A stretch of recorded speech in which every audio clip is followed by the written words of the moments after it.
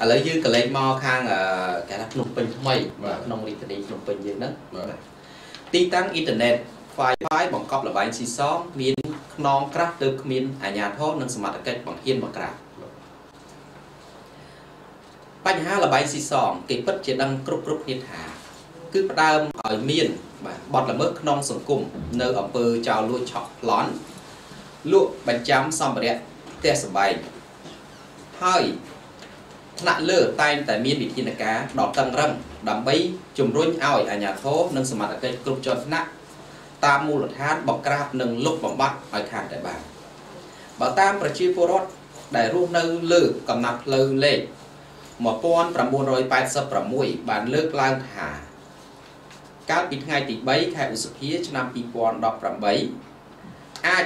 ម្ចាស់ទីតាំងបើកអ៊ីនធឺណិតបង្កប់លបែងខាងលើនេះ មានខ្នងបង្អែករឹងមាំទើបអាជ្ញាធរនិងសមត្ថកិច្ចមិនហ៊ានបង្ក្រាបចំណែកទីតាំងអ៊ីនធឺណិតទី1ស្ថិតនៅបណ្ដាលផ្លូវ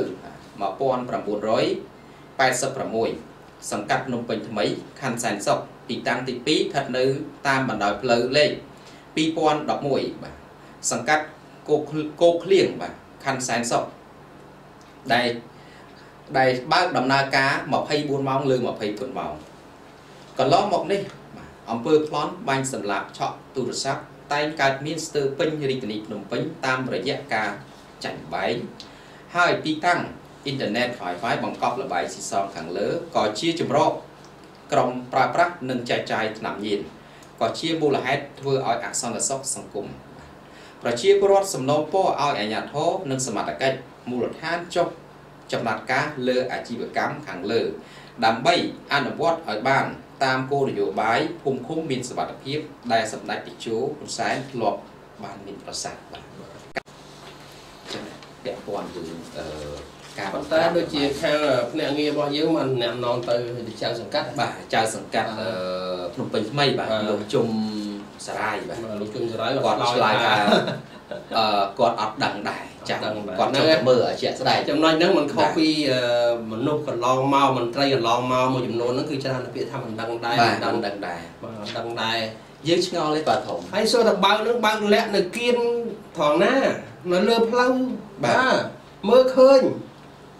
ចំណុចហ្នឹងយើងដឹងហើយបាទធំមិនចូលមិនចូលទៅហ្នឹងទេបាទធំយើងគិតថាសំបីតែលោកម៉ៅម៉ានិតបាទដែលជាអភិបាល ខណ្ឌសែនសុខហ្នឹងក៏មិនដែលគេថាមិនដែលដឹកនាំកូនចៅឲ្យទៅកន្លែងនឹងឲ្យមានគេថាគេដូចថាពីមានថ្នាក់ដឹកនាំត្រឹសត្រឹសបាទទៅក្រាបទៅឆែកមើលយ៉ាងម៉េចអត់ទេខ្លាចក៏ហ៊ានទៅដោយសារកន្លែងហ្នឹងវាមានថ្នាក់ដឹកនាំត្រឹសត្រឹសធ្វើជារណាំងហើយជាយន់ណាយន់ការពារបាទនៅយ៉ាងកន្លែងហ្នឹងមានសយន់បាទយន់ការពារមកចូលបានទេចូលបានទេកុំចូលអសោះបាទហើយមួយទៀត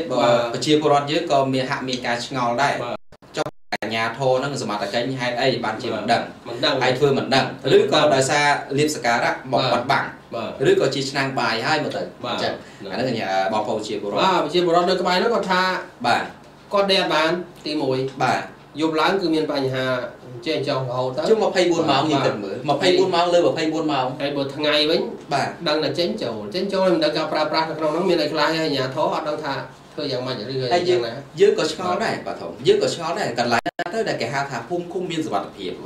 ដែលគេតែងតែតែនិយាយតតមាត់គ្នាក្នុងជួររដ្ឋរដ្ឋាភិបាលយើងក៏ដូចជារដ្ឋមន្ត្រីរដ្ឋាភិបាលក៏ដូចជាមន្ត្រីមូលដ្ឋានអញ្ចឹងបាទបាទបាទព្រោះសម្ដេចក៏តែងតែមានប្រសាសន៍ថាមន្ត្រីរាជការជាខ្ញុំបម្រើរបស់ប្រជាជន បាទមិនមែនជាចៅវាយទេដូច្នេះត្រូវតែពង្រឹងសមត្ថភាពរបស់ខ្លួនឯងផងមន្ត្រីការបម្រើប្រជាពលរដ្ឋប៉ុន្តែបើប្រជាពលរដ្ឋទៅធ្វើកាយមួយបើមិនមានស្អីទេគឺបាទយូរហើយបាទយូរហើយបើអត់មានស្អីខ្លះទេយូរយូរហើយយូរយាទៀតបាទ